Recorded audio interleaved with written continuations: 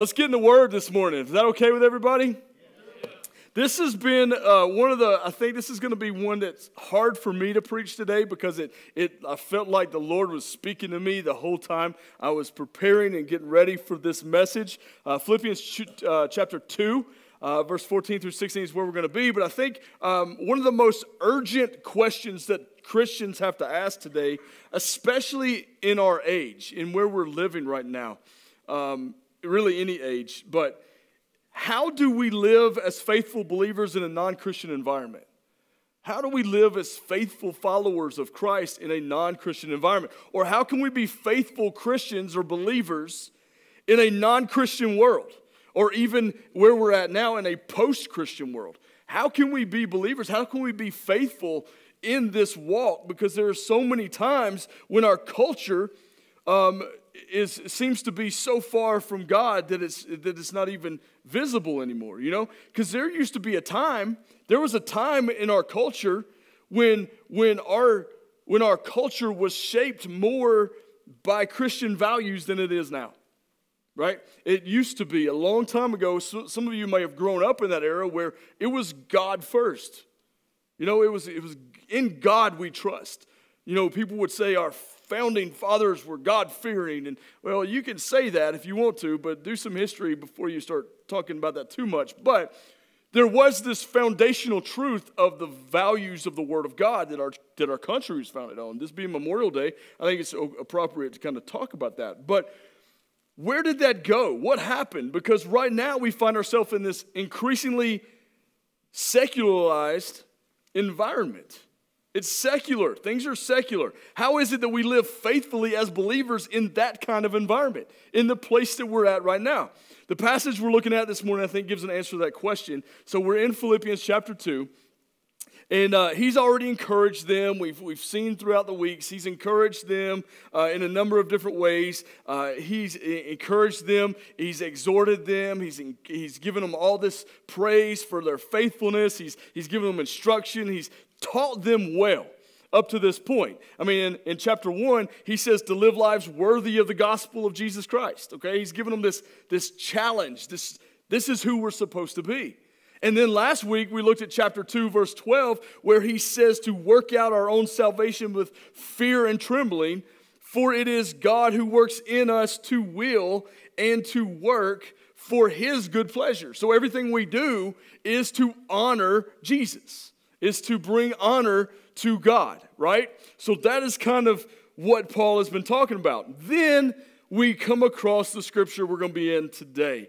It comm- the commands, the exhortations, they continue, but now it's focused in a world that we live in in teaching us how to live in that world. That's what, I, that's what I'm meaning to say. He's trying to teach us how to live in a world that is not uh, really in step with the church, if you could say that. So it's really a focus on mission. It's a focus on the lifestyle that we're to have as believers, even though we're living in the middle of a non Christian and non Christian context. So, Philippians chapter 2, verse 14 through 16. Uh, I'm going to read this and I'm going to give some critical or some crucial realities about living as believers in a non Christian world. So, this is what Paul says Do all things this is the hard part for all of us, let's face it. Do all things without grumbling or disputing, that you may be blameless and innocent, children of God without blemish in the midst of a crooked and twisted generation, among whom you shine as lights in the world, holding fast to the word of life so that in the day of Christ I may be proud that I did not run in vain or labor in vain. So here are some crucial thoughts living in a post Christian world. The number one thought is this remember who you are.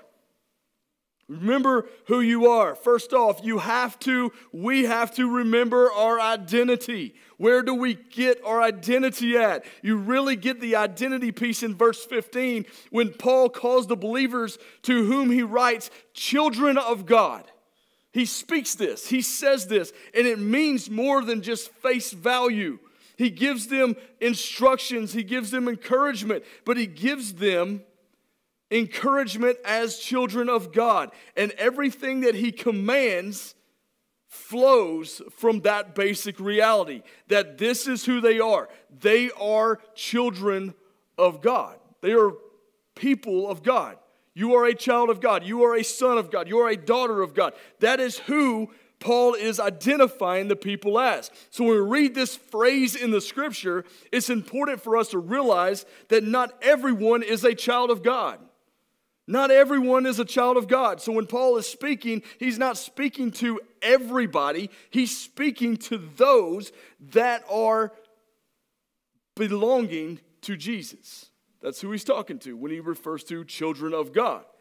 It's true that everyone's created by God. Absolutely, people are created by God. In, and in that sense, we are his offspring, I guess, in, as uh, Acts 17 talks about. But when we find the language of children of God or child of God, sons and daughters of God, the family of God, that kind of language, when it's used in scriptures, is always referring to believers. It's always referring to us, okay? It's a language that describes those who belong, belong in God's family. Now, if you remember in John chapter 1, uh, the prologue of John's gospel, if you will, he says this To all who did receive him, who believed in his name, he gave the right to become children of God, right? We've probably, if you've been in church for a long, uh, uh, extended period of time, you've probably heard that scripture before. Paul uses this language as well in Romans 8 when he says, The Spirit himself bears witness with our spirit that we are children of God, and if children, then heirs, heirs of God and fellow heirs with Christ. We've read this phrase, children of God. We have to remember all of God's love that comes behind that designation, that uh, uh, appellation. To be called a child of God means that we are loved by God as our Father. That is what Paul is speaking here. He's, he's showing there's a depth to this idea of being children of God. In, John, in 1 John chapter 3, there's this emphasis. There's this phrase, okay? Listen to this. See what kind of love the Father has given to us, that we should be called children of God. And so we are. The reason why the world does not know us is that it did not know Him. We are God's children now, and what we will be has not yet appeared. But we know that when he appears, we shall be like him, because we shall see him as he is. Now we look at this and go, okay, well, God, uh, God reveals Himself to us in His Word and that kind of thing. Absolutely, but we will never be able to see God as He is this side of heaven. You remember Moses? Moses asked to see God, and God, God, said, I'll hide you in the cleft of the rock, and I will walk past you, and all you will see is the backside of me. You won't even see me. And what happened to Moses? He, he shines brightly, right? And, and he had to put a veil over his face to cover the, the brilliance of God that was radiating from him.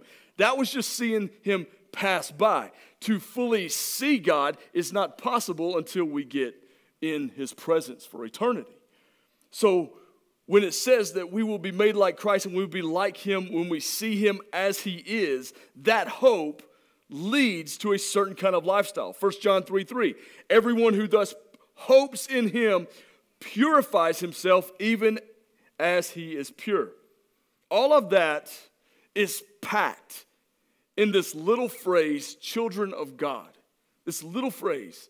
So, the very first thing Paul does is remind the Philippian believers, and he reminds us today of our basic identity that we belong to a new family, that we have a new father, that we have God as our father, Christ as our brother, and the Spirit indwelling our hearts. He's reminding us of this.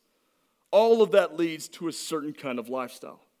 So when Paul says, remember who you are, he's also telling us to live a certain kind of way because of our identity. It's the same thing as he said in the, in the first chapter when he says, live lives worthy of the gospel.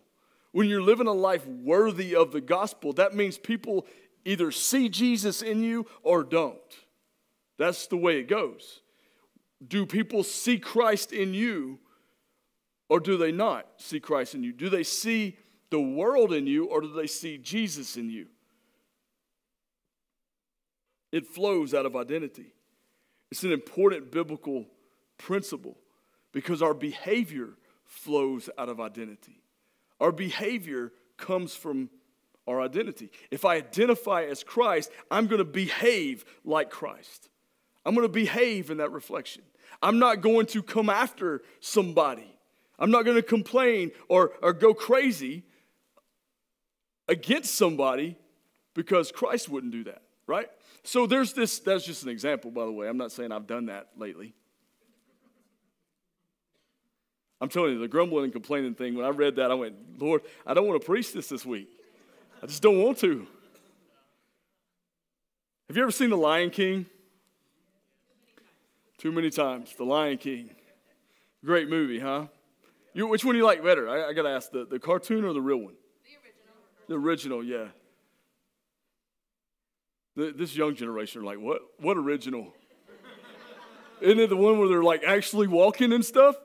No, there's a cartoon out there that have, you know, that's what we grew up on.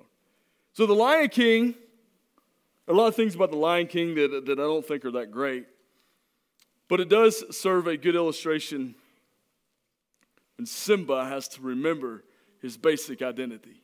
Remember Simba? Everybody remember Simba? I'm talking to the older people in the room right now. Simba. Simba has to remember his basic identity that he's the son of a king. And it's when he it's when he recalls his identity, he recovers his identity, and that is when he be, begins to behave like a king. It isn't until he figures out and remembers who he is that he starts to behave like the person that he is called to be. It's not until he sees that. So if we don't understand that our identity is, is in Christ, we're not going to behave like Christ. But once we grab a hold of the identity that we have in him, our behavior will begin to change.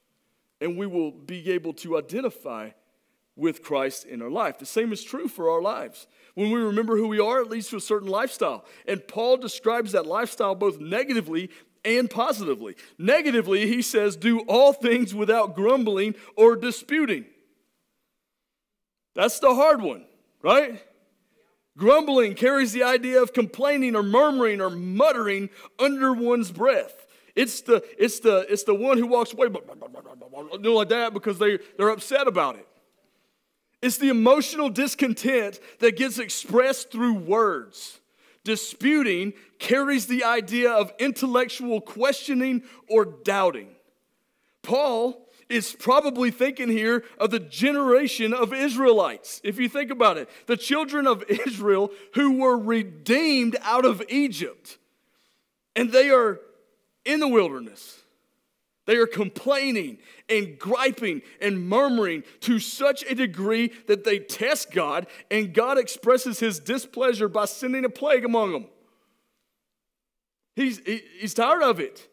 Paul is essentially saying, don't be like that. Don't murmur and don't complain. Now, listen, I know none of us are Jesus in this room.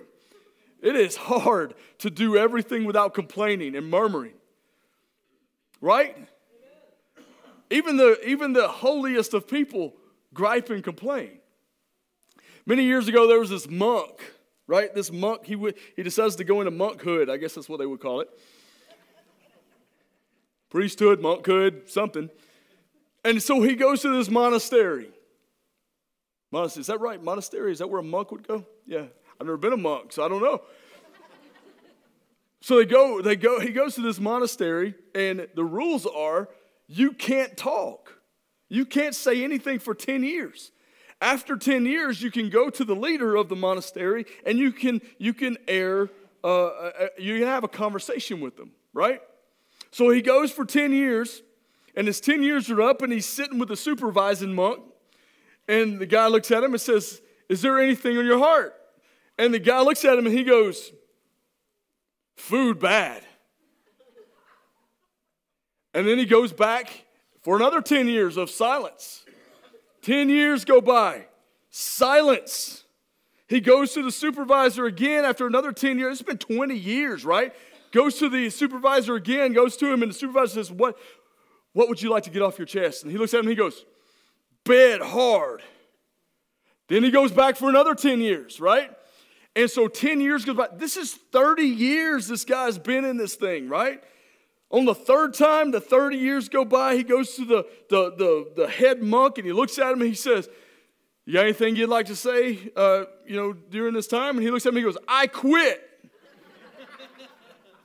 and the supervising monk looks at him and he goes, I kind of thought that was coming because all you've done is complain for 30 years.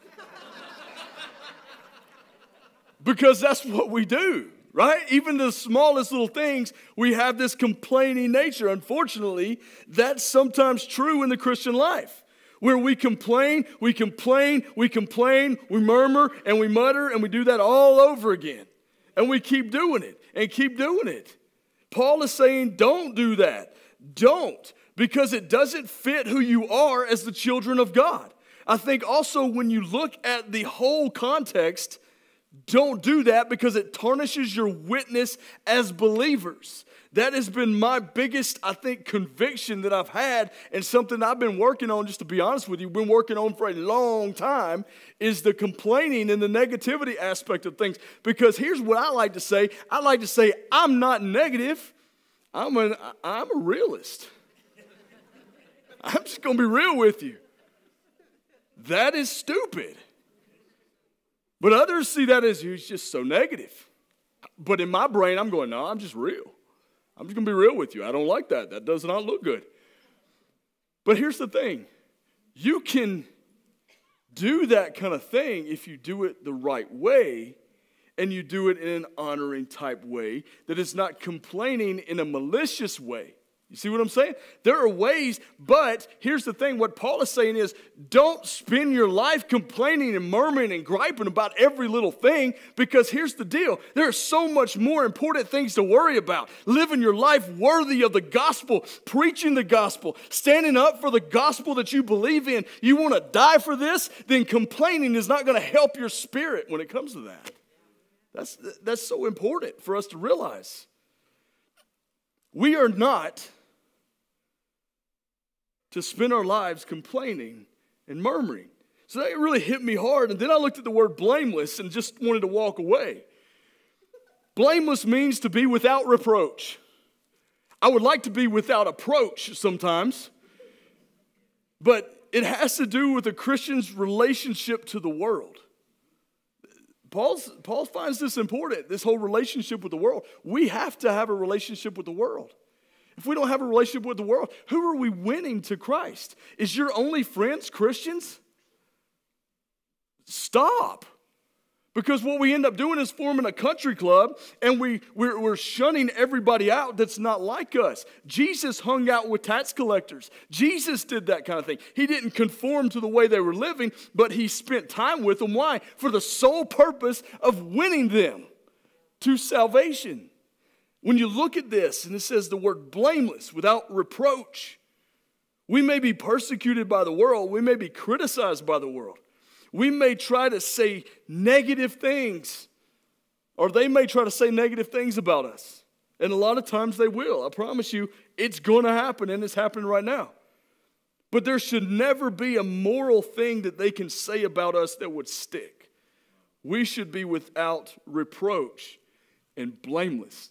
Doesn't mean you're perfect. It's like when Paul calls us saints in the first chapter, and everybody looks at like, what? what? We're not saints, but you are.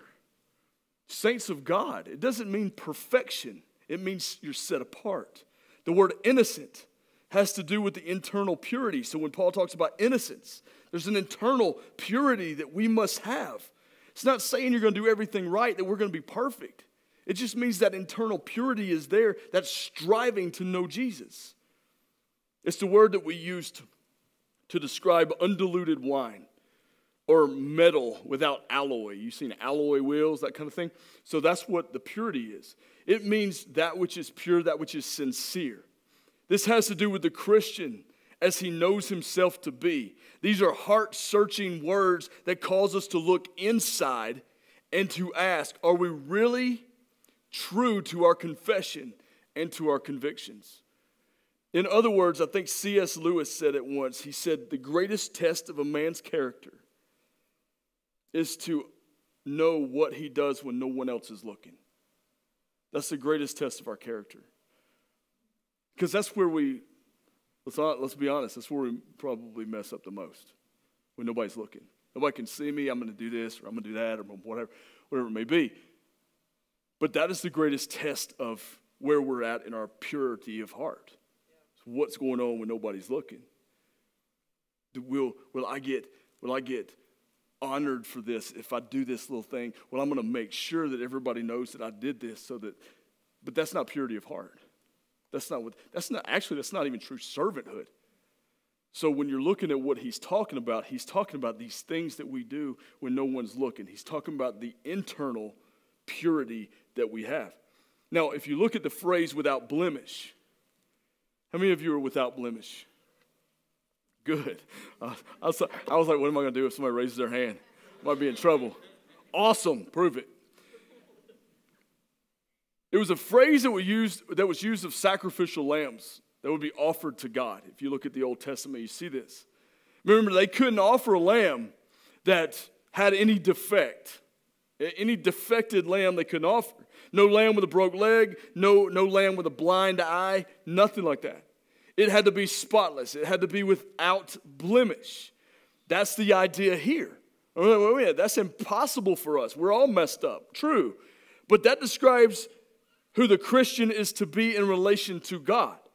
We are to be presented before Him as without blemish. Now, understand, if you go back to those words of David and, and that time when Samuel uh, anointed uh, Jesse's sons as king, or was trying to find uh, one of his sons to anoint as king, and he saw David, remember what God said. God said, God, uh, man looks at the outward appearance, I look at the heart.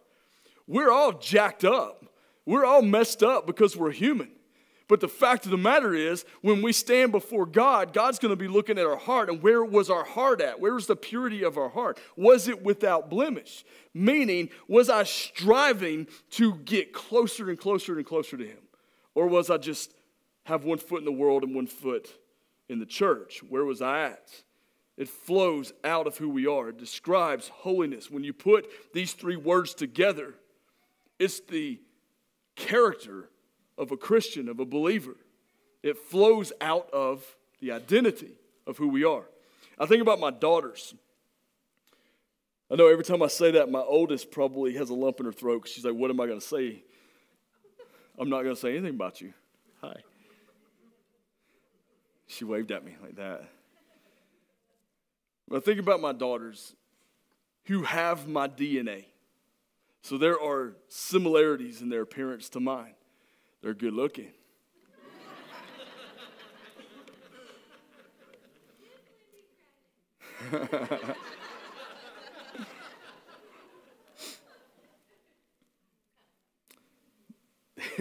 they will always they will always have identity with me because I'm their dad. Always, right? There are similar family traits and features that come from both myself and my wife. All right? Both of them both traits that come. They are traits that carry from family to family, parent to child. We all have them. If you have kids, you have, you have that going on, right? That should be the Christian life as well. The traits and features we have should show the identity in Christ, right? We are called to look like our Father. Everybody with me so far? We are called to look like our Father. We are children of God. So remember who you are, remember your identity. That's the first thing. The second thing is remember where you are. Remember where you are. Look how Paul words this. Verse 14 and 15. Do all things without grumbling or disputing, that you may be blameless and innocent, children of God, without blemish, in the midst of a crooked and twisted generation. That's how Paul describes their contact context. And it's actually a phrase that comes from the Old Testament. In fact, it comes from that story of the first generation of Israelites. In Deuteronomy chapter 32, because of their unfaithfulness, because of their idolatry, and everything else that was going on, this is what it says in Deuteronomy. They have dealt corruptly with him. They are no longer his children because they are blemished. They are a crooked and twisted generation. Paul is saying, don't be like that. Don't be like those original Israelites who were crooked and twisted. Instead, you are to be without spot. You are to be blameless. You are to be innocent in the midst of a crooked and twisted generation. Now, here's interesting parts right here. That word crooked is the Greek word scolios. Anybody know where that comes from? Know where our medical term comes from? Scoliosis, right? Which of course is a medical problem of a the curvature of the spine. Some, some of you may have that. You may suffer with that. It's a word that literally means to be curved or to be twisted or to be crooked. The second word, twisted, that we see here means to be perverse in the original language, means to be perverse. It carries the idea of deviation from that which is good, that which is moral, and that which is right. So when you see what's going on in our society today, do you see a crooked and twisted generation like Paul was speaking of. Now, if we look at it and go, well, that's just calling them names. No, it's not calling them names. It's looking at this right here. We live in a perverse world right now. Everything is, be, is being perverted, especially when it comes to the church and biblical things, being perverted. They're perverting the gospel. Even so called Christian churches are perverting the gospel in certain ways. And we got to be careful with that. And so, what Paul was saying is, he's saying, no, you got to deviate away from those things. You got to go away from those things. This is how Paul describes the context in which we live. He describes the world in these terms. And in fact, he uses the word world in the next phrases.